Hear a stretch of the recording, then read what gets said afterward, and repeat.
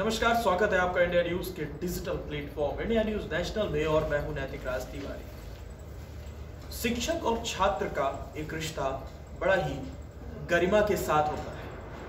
या कह दें कि जो इनका संबंध है, वो बड़ा ही एक आक्रोशित भी होता है, क्योंकि शिक्षक अगर कभी गुस्सा हो जाए तो छात्र थोड़ा उसको मनाने जाता है। उसके मनाने के बाद वो चाहता है कि वो ज्ञान जो है पूरे तरीके से, क्योंकि अक्सर देखा गया है, स्कूलों में भी देखा गया है, कॉलेजों में भी देखा गया है कि अगर कोई छात्र कोई गलती कर बैठता है तो जो शिक्षक होते हैं, वो पहली बार या कई बार उसे माफ़ कर देते हैं, लेकिन वो गलती अगर लगातार करते जाता है तो उसे माफ़ नहीं किया जाता है, उसे दंड भी दिया जाता है। लेकिन अगर कोई शिक्षक अपनी मर्यादा को भूल जाए और किसी छात्रा के साथ अभद्र तरीके का कार्य कर जाए तो उसको लेकर भी कोई भी चीज़ें गलत होती है। ऐसा ही मामला कर्नाटक के मैसूर से आया, जहाँ पर एक छात्रा को उस स्कूल के हेडमास्टर ने अपने कमरे में अश्लील हरकत करते हुए देखा गया है। जब ये वीडियो आग की तरह सोशल मीडिया पर फैला तो हेडमास्टर को बर्खास्त कर दिया गया और उसके ऊपर कानूनी कई तरह के मामले दर्ज कर लिए गए, जिनमें पॉक्सो एक्ट भी शामिल दरअसल उस पूरे वीडियो में घटना जो ये है कि हेडमास्टर उस छात्रा को अपने कमरे में बुलाता है। कमरे में बुलाने के बाद उसे अश्लील हरकतों का करने का प्रयोग करता है। प्रयोग करने के साथ साथ वहाँ पे कुछ छात्र खिड़की के कोने से उसका वीडियो बना देते हैं। और जब इस बात का अंदाज़ा हेडमास्टर को होता है तो वो उस छात्रा को बाहर भेज देता है और खुद खिड़की कर पास आकर जांचने की कोशिश करता है क्या सच में वहाँ पर कोई था।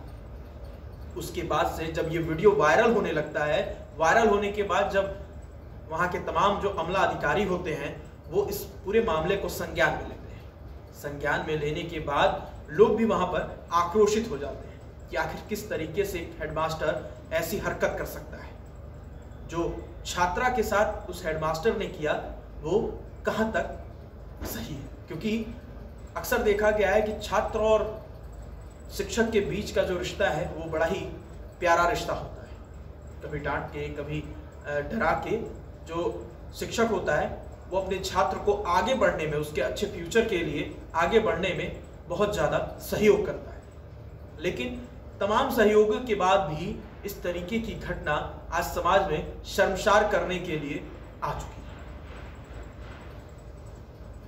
स्कूल में छात्रा को किस करने वाले हेडमास्टर के खिलाफ जो केस दर्ज कराए गए हैं, उसके खिलाफ आपराधिक अपराधों में बच्चों की रोकथाम यानी पॉक्सो एक्ट के तहत शिकायत दर्ज कराई गई है।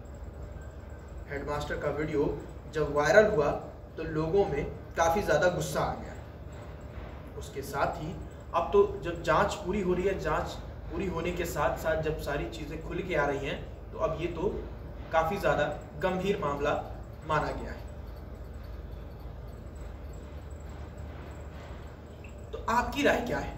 क्योंकि सबसे बड़ी बात है कि समाज में रहने वाले आप सभी, आपकी राय जाननी बहुत ज़रूरी है।